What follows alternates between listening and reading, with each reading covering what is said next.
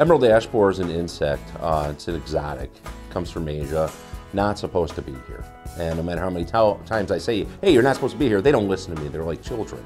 So they can really overwhelm that tree. And there's the tree has no mechanism really for defense from that insect. So either treat it or lose it. There's there's no in between with that. So the first thing you're gonna actually see is it'll be a pale leaf, maybe stunted, pale. That's gonna be your first real clue.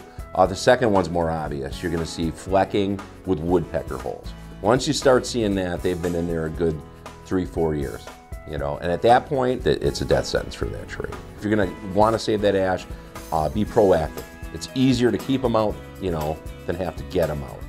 Yeah, if you've got an ash tree and you wanna keep it, you might not see any signs, start treating it. That's the best time.